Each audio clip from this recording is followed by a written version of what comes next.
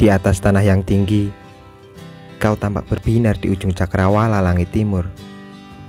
Saat pagi buta dan embun yang berguguran, memandang kau terbangun untuk melaksanakan sebuah tugas.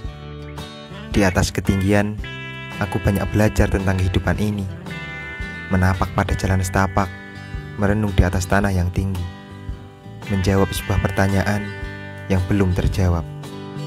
Mendaki gunung bukan hanya soal view, namun juga perasaan, kehangatan berkawan, dan juga saling menjaga.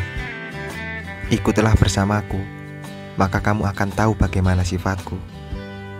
Ikutlah bersamaku, maka kamu akan tahu bagaimana asiknya di atas tanah yang tinggi. Akan tetapi, setiap orang punya maksud tersendiri tentang mengapa ia mendaki gunung. Entah karena mencari kesenangan, atau malah sebagai pelarian. Mendaki gunung adalah menghargai yang tak tampak, memaknai yang terpampang. Banyak yang seolah mengerti, padahal tidak sama sekali. Mendaki gunung itu butuh edukasi, bukan tutorial foto selfie.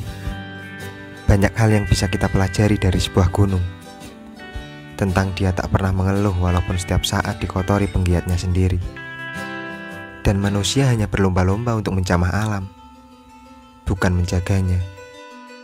Pendaki gunung hanyalah sebutan, dan pecinta alam adalah sebuah gelar.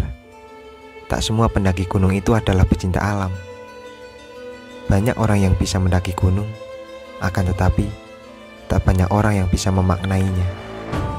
Puncak, cuaca cerah, dan hal bagus lainnya mungkin jadi harapan para pendaki, akan tetapi kerap banyak yang lupa bahwa jalan setapaklah yang mengantarkan mereka ke sana.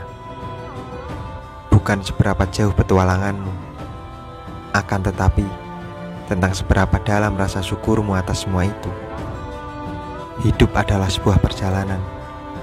Lakukanlah perjalanan untuk hidup.